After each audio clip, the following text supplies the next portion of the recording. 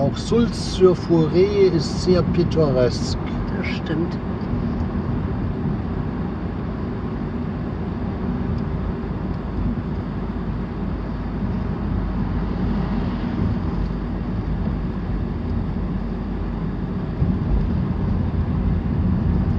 Warum sage ich immer Forêt? Forêt.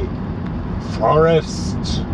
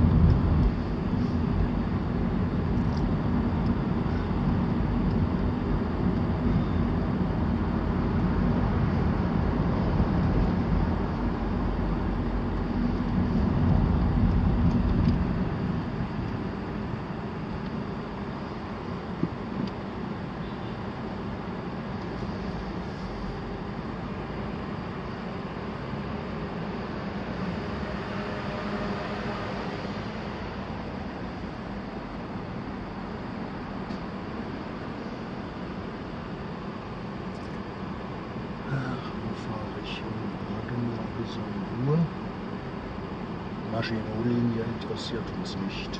Nö.